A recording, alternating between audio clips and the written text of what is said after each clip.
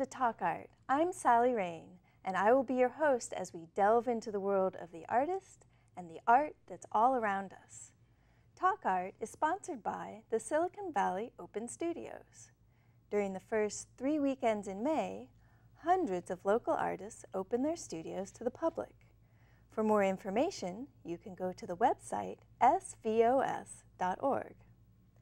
Our guest, Rachel Tirosh, is a mixed media artist, and she works in two main areas of art the world of polymer clay and abstract painting. She is a local artist who moved to the Bay Area 20 years ago from Israel. So, welcome, Rachel. Thank you, Sally. I'm really excited to be here. Yes, your art is absolutely beautiful, and the details that you have in your clay work is just amazing to me. I'm very curious to find out how you actually created. So, how did you get involved in creating art like this? Well, my it all started when I left the roller coaster of the high tech industry, and um, then I wanted to find something to other other things to do and I started to take some classes in art in different areas. And um, I find, found out myself in a workshop of polymer clay. And since then, I didn't stop doing it. So, and using the clay and the polymer clay is your passion for creating these days?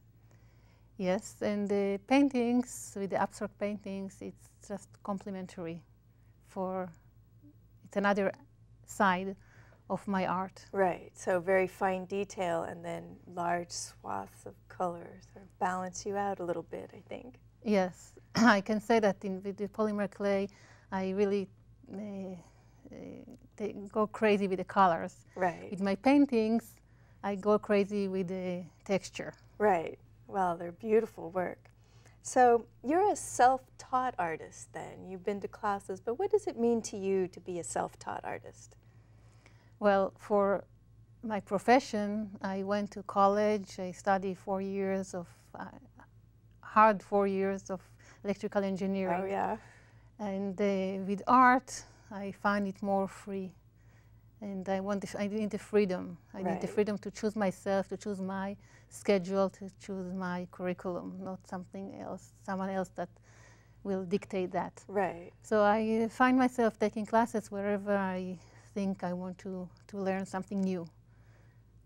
Excellent. With the, with the art, I also I took some classes at De Anza College to learn something about color and design. Mm -hmm. I even took Photoshop and photography and web design so I can support myself in my business so I will be self-sufficient. Excellent. So you took some classes to learn materials and a little bit of design work and business. Well, yes. Excellent. Yes. That's a good combination. Yes. well, I cannot uh, uh, turn my back to my engineering uh, side of my brain. No, of course not. excellent. So the materials are very interesting. What exactly is polymer clay?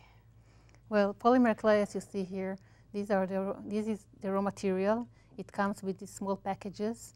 Um, uh, and it's, uh, po it's polymer, it's a plastic material. It's very soft and um, it's easy to work with.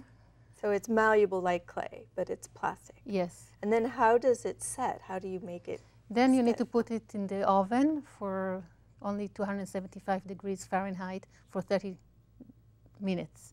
So it's very oh. low tech. Oh, it's so it's quick and it's not like a, a clay bowl that needs to be fired in high heat with glaze. No, no, no. it's just oh, mm -hmm. very interesting. Yes. So you could use a kitchen oven or something like that, right? Yeah, that's what I'm using. Yes. Oh, excellent. So um, you have some images of some of your polymer clay art. Why don't we take a look at those now and you can describe some of the processes that you use to make them? Yeah, sure. So this is a one of this is a series of steps that I made this uh, lizard. This is the raw lizard. I found this in a, in a store. Uh, it just wires. Then the, the, next slide, you see that I already covered it with a, a thin set and clay. Um, polymer clay, just a mud polymer clay. Uh, so it will have one layer. Uh, on that particular one, I put also silver leaf because I used, when you see the other, other slide, I used translucent polymer clay. I wanted the silver layer to shine through that. So the next slide, you see the uh, end result. So does the light shine up through that? Then? It's not the light. It's just, oh, the, just you see you see the uh, silver. That's beautiful, and all of the different patterns that you used. Yeah. So you can see. You later you will see. I'm. I like to use thread uh, that I throw at any any. Um, device, any item that I do, I, with the thread, I, um, I partition the, uh, the object that I have into different areas. So each area I can uh, do different. Uh, so there's the thread that you use. Yes, this is an, uh, a, a, vase or a bottle. Um, this is the thread. it looks like sort of a hemp string. Yeah, Okay. Depends what good. I find in the store. Right. Yeah, and this is the end, the end result. So it looks like you use objects that you find that you then create your art around. Yeah, I like to go to uh, thrift stores or garage sales, and I like to find. I, I, it depends on the item. I never know what I will find. It depends how it talks to me. Well, what type of patterns are those in the clay? These are uh, canes that I make. Wow. I will see later. And this is an example of a teapot that I covered. I really like teapots. I like their shapes. It's very organic. It's very whimsical. So here also I divided it into half with a, a the string there. The string. Yeah, I see that. So I usually do one half very, very colorful with this uh, uh, kaleidoscope cane, and the other half a little bit uh, less design intense. But you choose your colors so that it is a yes, the colors. Yes, I, I, I make a lot of canes. The canes are like my colors, and uh, the item is like my canvas. And this is another example of candle holders. The same technique, just different object. So most of the items they are usable. And this is a series I made of um, letter openers. Um, the letter openers, they are recycled um, item that I found that I thought it can be a letter opener. So I don't know what it was before. So you started with a piece of metal, yes. and then you put the clay on. I it made a handle like, So, yes. so it sounds like you reuse objects frequently.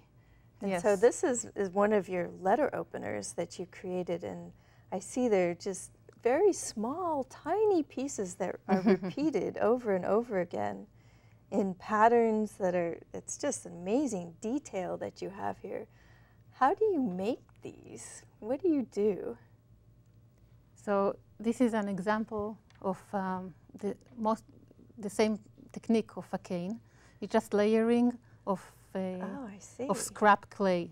So we don't, we never, we never ever throw away uh, used clay Oh, or any scraps. We always make something from it. So this is just layering between uh, white sheets of uh, clay. Wow. Well, show us how you make the sheets and the canes.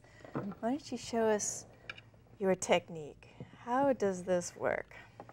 Okay, so today I, I will make uh, three different uh, uh, canes. Um, so I, I have here, I already made them. Uh, these two I will make um, uh, bullseye. So I have this black and the sheets of uh, clay and we just um, roll it around.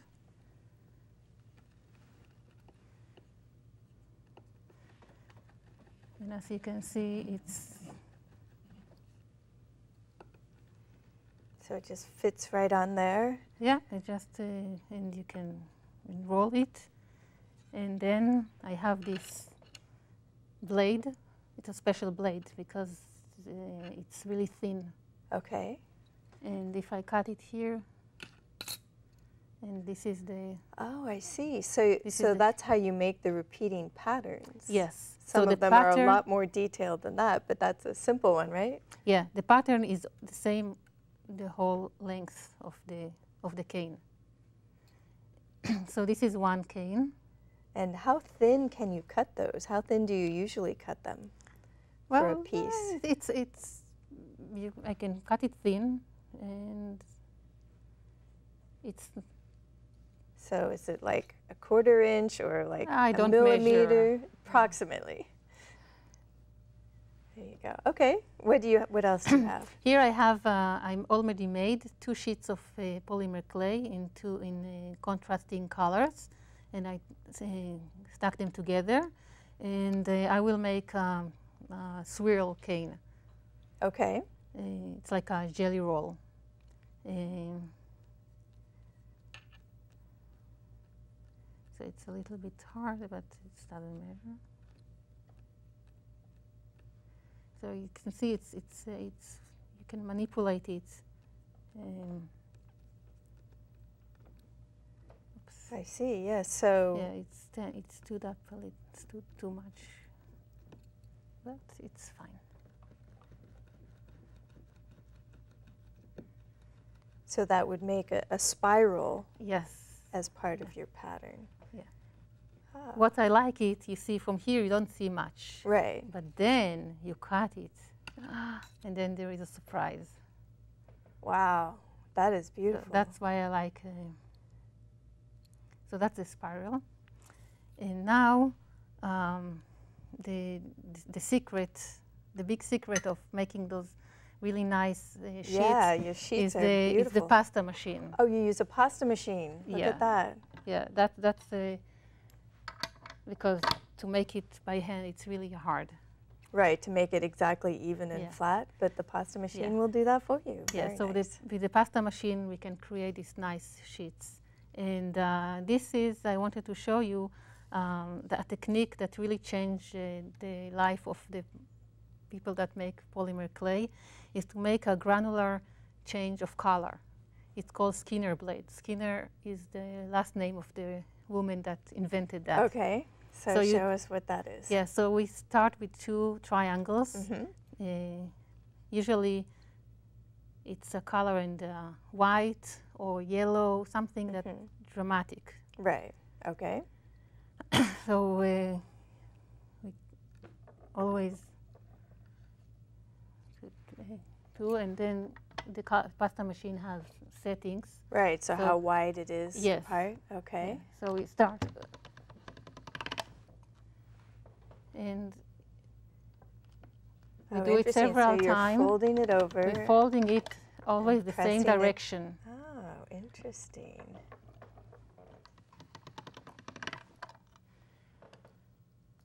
And as long as you do it, you, de- you get more change of color. But you can stop to do it anytime Okay, you want.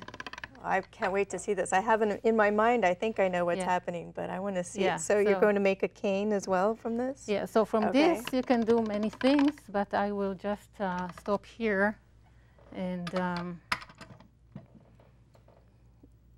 and what we do is just I you can see here some of the Uh-huh. So it's it's layered and swirled, and now you're going to roll it up. so I'm going to roll it out here from the white to the red.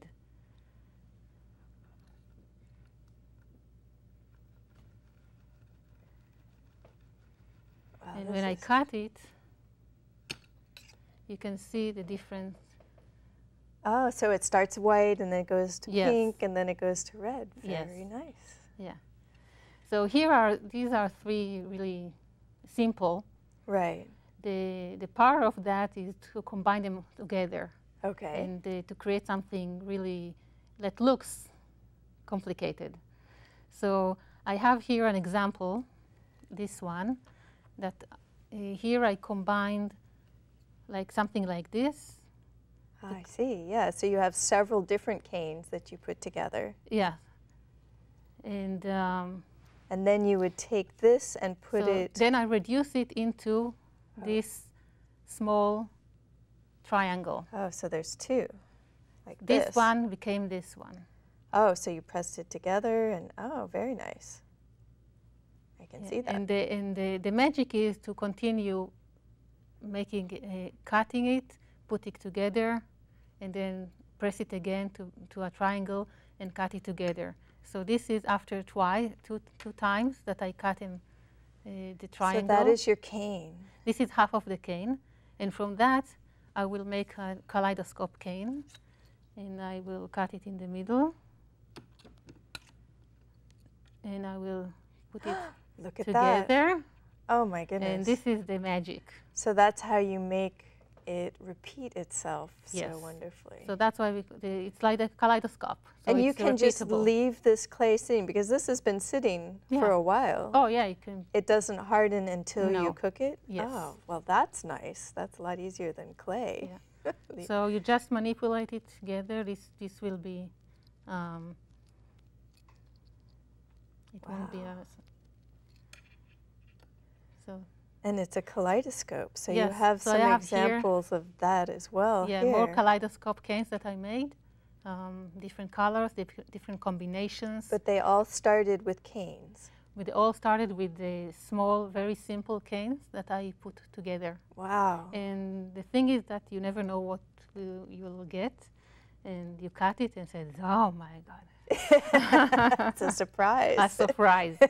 And then yes. you then you so you prepare your canes ahead of time yes, enough to cover the object that you would like to do. yes, yeah, hopefully it's enough. Yeah. and then this is a really nice acrylic rod. And you can um, make it straight. So that helps to compress it a little bit and flatten it. to compress, to straighten it. flatten, to straighten it, yes. Yeah. Wow, So very nice. Very simple tools. Simple tools. high, low, low tech, nothing, nothing special. well, except um, for the design sense and Yes, some patience. I, I must say that's a lot of work put into every little piece of that. yeah. and here I brought another example of a flower cane.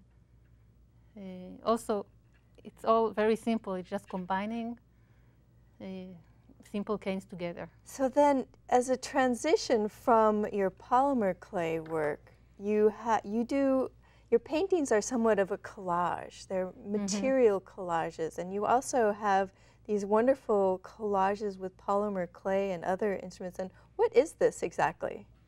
Well, this is a um, um, bag hanger. You go to the restaurant and you want to put your uh, bag not on the floor. Oh, So it's a, like you hang your purse here. Yes. Oh, on this it's on the table. Oh, Yeah. very nice. And then you've designed it. Yes. Yeah. it It's just uh, very, very fun to do. Very Uh, nice. So, from this, you also do beautiful abstract paintings. So, why don't we take a look at some of the images that you brought in of some of your paintings and mhm. find out the techniques you use for those? Okay, so these are the some examples of some of your bag hangers that you use the collage technique. Yeah. That's uh, another series I made. It's also collage. Yes. Very colorful. Thank you. So this is uh, uh, this painting is uh, uh, one uh, of uh, in a series of four. Um, it, uh, I, it, I saw a picture of uh, Hill here in at Stanford, um, and I wanted to create uh, the same hill but in different uh, seasons. So this is summer. Uh, the texture is uh, here. I think it's uh, uh, paper, some kind of paper I found. Here it's uh, I love that red and dark color. What is that made out of? It's a it's a pigment. The the white is pigment, and uh, it's the same. I think it's a, a paper and uh, some fabric. And how do you get it to stay on the painting? What do you use? I just use regular uh, glue. Low tech. Everything Very is low tech. This is the green. Uh, So this is the This is the hill. spring. Spring. Oh, very nice. and there is, I think, another one. This is a winter. I love the colors, how you use the purples. Um, what types of paints do you use for these? Acry- uh, acrylic and the white I use pigment. So the pigment, uh, when it's dry, it's more translucent. It has a translucent, um, uh, And underneath you have your found materials. yeah. I think here it's burlap also. Burlap. Yes, I like to use a lot of burlap. Yeah, it's got a very nice rough texture. This is a, a, a triplet, trip, uh, Triptych. triptych. Uh, here I used uh, only a fabric on uh, wood, and I call it uh, a transformation. The transformation is also transforming the fabric into painting, and also the egg shape is also a trans. It will transform. And then you, it seems like you use tools to create other textures as well. Sort of. Yeah, it's it's all fabric. Yeah. Oh, really? Hmm. Yeah, here this painting is lots of uh, uh, texture, and here uh, I, I did it after I came back from Yellowstone, and the colors there were amazing, and this was inspired me to do that. But uh, you don't see, you don't smell the smells. right. Yeah, here it's a 12 by 12. I call it Dreams, and uh, after I sold that, I got inspired and I did a really big painting, 30 by 40. I call it Big Dream, Dream Big. very nice. Uh, here, I, uh, this is on wood, and um, I decided to do it upside down. Uh, I turned the, the wood uh, to the other side. So I thought I will create, a, a, it will have um, a frame, but I struggled for so much, so much time because the frame just stopped me from doing things. And uh, then I had this idea to include a frame inside the picture. So I have the it is a frame, but it is part of the picture. Looks very nice. Uh, this is a uh, uh, uh, this is a, a color series. Uh, it was inspired by a box of colors that I got for five dollars, and I just wanted to throw as much color as possible. It's beautiful. And the same thing, I took that and I got inspired to do the chair. Uh, this was 3D, uh, and it was, it's really hard to do 3D. You need to be very patient. But uh, this, the same colors, uh, different. Uh, And why a chair? well, I did it uh, as a, a donation for uh, the Women's Club in Palo Alto. They uh, gave chairs to artists to paint, and then we donated them, and they, they auction it. That's beautiful work. I love Thank the you. ways you use texture and color. It's not nearly as detailed. so you go from one end of the spectrum, tiny little kaleidoscope, to Mhm. big swaths of color. Yeah. I think that's a really interesting way to experience the art. So tell us where we can see your art. Well, I have my polymer clay uh, uh, art uh, in the Los Altos in Gallery 9. Gallery 9. And what type of gallery is that? It's a co-op. We have uh, 30 artists that show their art there. So it's a cooperative gallery in Los Altos. Excellent. And are you also part of the Silicon Valley Open Studios? Yes, Silicon Valley Open Studios is how I started, and I've been showing uh, there for eight years. Um, it's a great organization. So, what do you think some of the benefits are for showing with SVOS? Yeah, I got uh, many collaborations via the Silicon Valley Open Studio. I got this interview, so uh, it's it's uh, it's very supportive, and uh, that's the community. That's beautiful. Now this, when you u- use these little kaleidoscope pieces and you put them on a big structure, tell us some of the challenges of that. Just real short story. Well, As you know, I, c- I need to put it in the oven to cure, so I need to put the whole thing in the oven. I made the ones, uh, um, I usually I test before right. that I can put it in the oven. I have a big oven, but not so big. I had a rooster that I made, and uh, I couldn't put it all uh, on one, one uh, piece inside the oven. oh no. So I had, yes, so I had to put uh, uh, half of it, and then the legs were outside. I had to build some structure so the oven will still operate while it's open, and uh, cover the uh, the door with the tin foil so the heat will stay. It was uh, it was very funny. it's a challenge. That's excellent.